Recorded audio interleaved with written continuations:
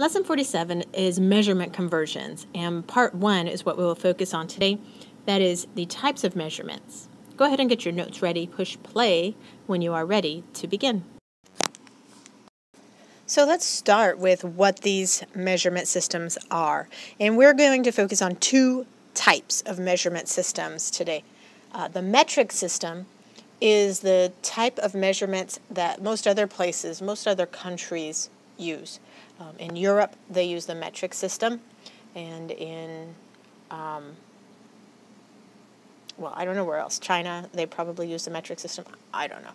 Um, I just know that we generally don't use it, but we should be familiar with it. So we're going to get ourselves familiar with it. Get your notes ready by having this information and then these um, little spaces here, and um, we'll copy down as I go.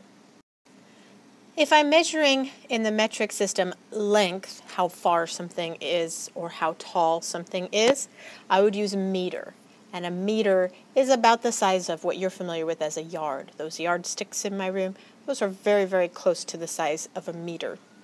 If I measure something in uh, measuring mass, it's sort of like it's like how much makes something up. You would relate it to the idea of of weight even though it doesn't really mean weight, um, how much mass is packed into something will determine how much it weighs. So they're very closely related items. So mass is measured in grams. And capacity is how much something will hold, like a swimming pool or um, a spoon, how much liquid can be held in there, how much something can hold. And that is measured in liters. So in the metric system, they have used um, the base unit in every one of their um, explanations, and then they just put a prefix, a little, a couple of letters in front of their base unit to tell you how it's chopped up or how many of them there are. So you just need to know length means meter, gram means mass, like the, how much it weighs, sort of, and liter means capacity, how much it can hold, how much liquid can be held in there.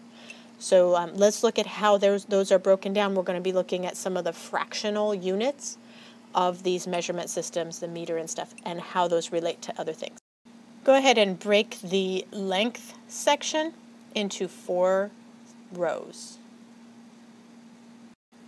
Okay, and on the third row, not the first, not the second, but on the third row, go ahead and put meter. That's the base unit here, so I put it there. The abbreviation is an M and it's about the width of a door. So if you look at the classroom door, how wide it is is about one meter. A kilometer, kilo means a thousand.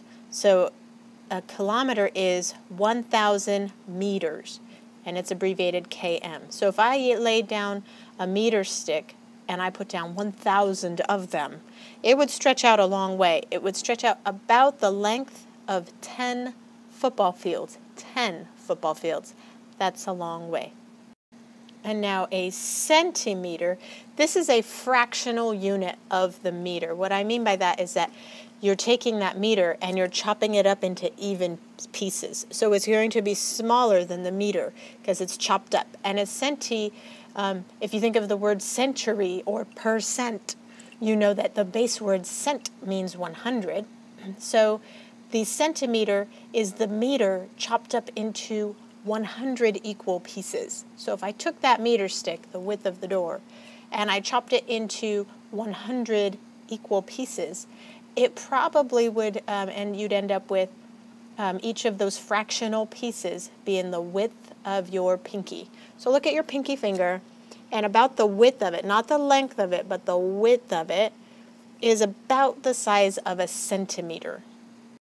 All right, and another fractional piece of the meter is the millimeter. And I say milli like the small voice because millis are tiny. Milli means thousand, actually. And so uh, the millimeter is a meter chopped into 1,000 little pieces. It's a fractional piece of the meter and it's cut into 1,000 equal pieces. That's a lot. So if I took the meter stick, the width of the door, and I chopped it up into 1,000 equal pieces, one of those little pieces would be about the thickness of a dime. So if I took a dime and just looked at the side of it, as thick as it was from the very bottom of it to the very top of it, there's hardly any, right? It's so thin. Um, that's about a millimeter. Super, super tiny. Millimeter. They're so cute. Now I want you to um, get the gram section, the mass section, split into three lines. And we'll talk about the pieces of the gram. We'll start with the base unit again here. Up here we started with the base unit meter. Here we're starting with the base unit of a gram.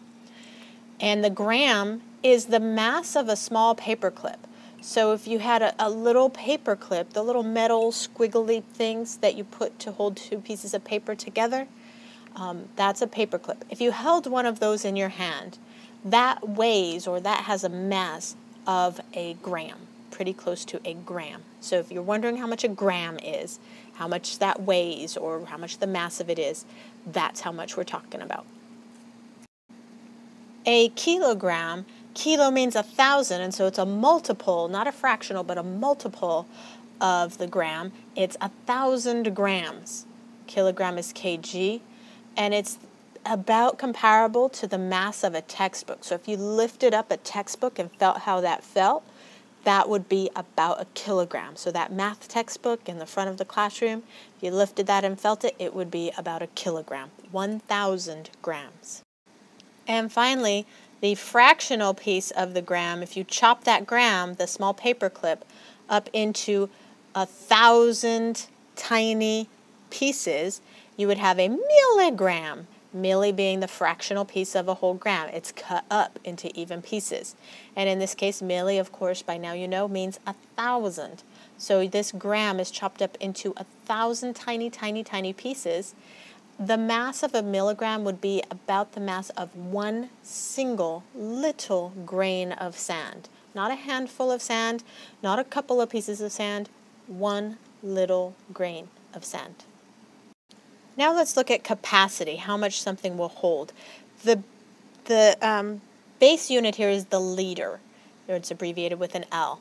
And that would be the amount of water in a large water bottle. So if you carry a large water bottle around, it may be close to a liter of water in there. And you can look on the side and it'll tell you how many liters or milliliters or whatever are in there. But a liter would be a large water bottle that somebody might carry around to drink water out of.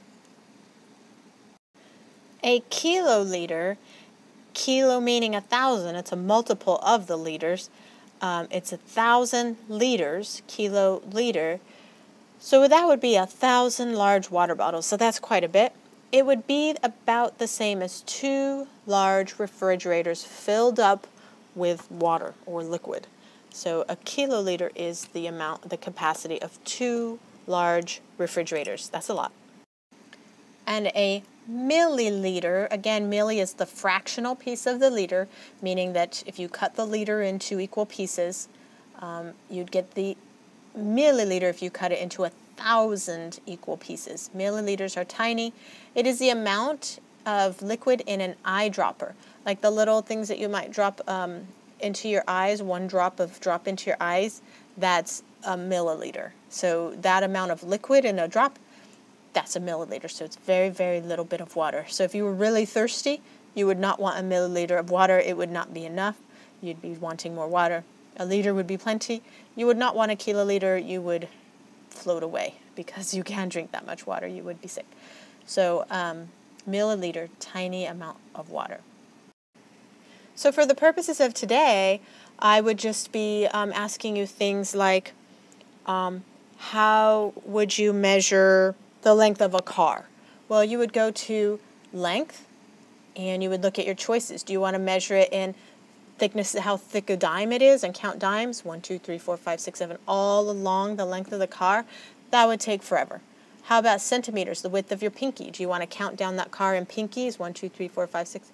That would take forever. A meter stick, that's about the width of the door. One, two, three, four. That wouldn't be so bad on a car. Would you measure it in kilometer?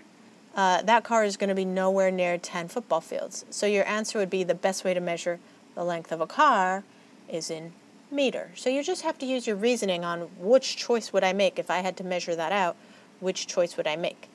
If I had to measure the um, amount of dosage of a cough syrup, that's capacity. How much cough syrup do I take? Well, I am not drinking two large refrigerator fulls of cough syrup, am I? And I am not drinking a water bottle full of cough syrup either. I'll have a couple of eyedroppers of uh, size of cough medicine. So that would be in milliliter. So that's all you're going to be asked is what's the best way to measure this or that. And, um, and so you'll have to do that for the metric system. And you'll just use your notes that you have here to help kind of guide you and your teammates to help guide you on which one you would use. Now let's look at the customary measurement system, which is what we use in the United States. Um, and a lot of other countries do not use this one, but this is what we're comfortable with. This one should be a little bit easier for you to understand. All right, let's look at the customary measurement system. Go ahead and draw this chart out. Customary measurement system is what we use in the U.S. for length, for weight, and for capacity. And each section needs three lines. So go ahead and get that drawn out like I have it and push play when you're ready to do this. All right, our first measurement is for length. Length is what we use to measure how far something is, how long it is, how tall it is. Length is what we'd use. And one of the measurements we'd use is an inch. You're very familiar with that. It's the length of a small paper clip. Some of you know that's kind of around the length from your knuckle to the tip of your finger or from your knuckle to your knuckle on your um, finger. So an inch, you've worked with inches a lot, so you're already familiar with the length of an inch. The next measurement in length is a little bit bigger. It's the foot. And that's like the length of a piece of paper. If you took one of the pieces of lined paper, the paper you're writing on right now, from top to bottom, that's about a foot tall, or that's about a foot in length. So um, again, foot is something you're already familiar with. There's 12 inches in a foot, you know that already. Um, so a foot is the length of a piece of paper. And finally, the mile. The mile um, is the length of 18 football fields. So that's quite a long way. It's a little longer even than the uh, kilometer, which was only 10 football fields. So 18 football fields. Um, if you wanted to run a mile, you'd have to run the, the length of 18 football fields.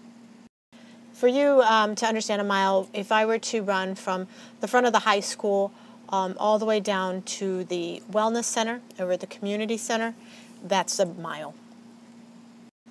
Okay, an ounce for weight, we're now in weight, how much something weighs. An ounce, we abbreviate as oz, oz, oz, an ounce, oz, is the weight of a slice of bread. So if you took one slice of bread out of the bread bag and you held on to that, that would be about the weight of one ounce, not very much.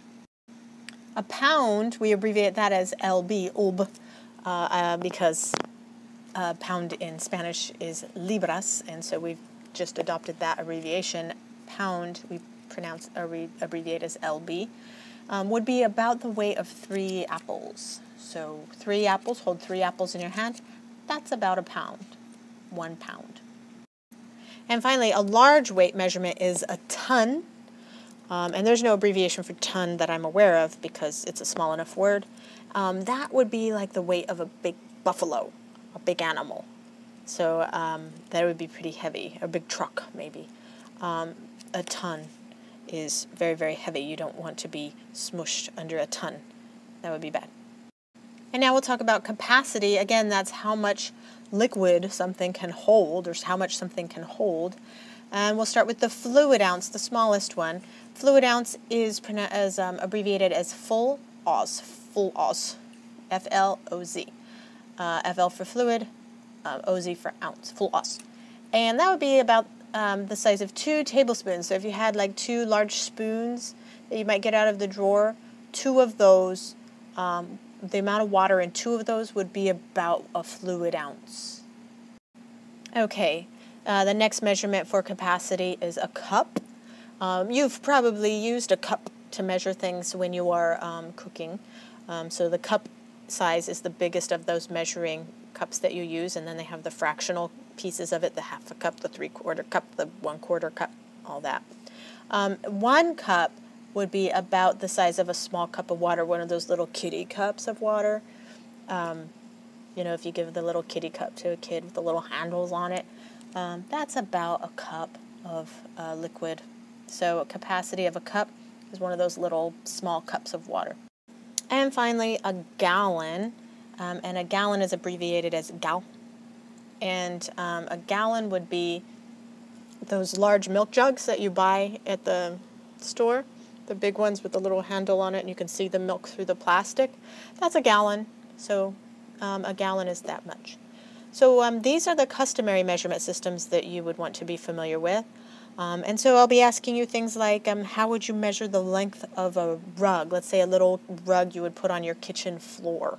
Would you want to measure it? And that's a length. The length of something would be one of these up here. Would you measure it in inches, which is the length of uh, small paper clips? Would you take paper clips? One, two, three, four, five, six. That'd be tedious. That would be not fun. A foot, the length of your piece of paper, one, two, three, four. That wouldn't be so bad. It's a small rug, not a big rug. Or would you measure it in mile compared to 18 football fields? Well, that would be ridiculous because it's tiny compared to 18 football fields. So your answer would be, well, I would measure the area rug, a little rug, in terms of a foot.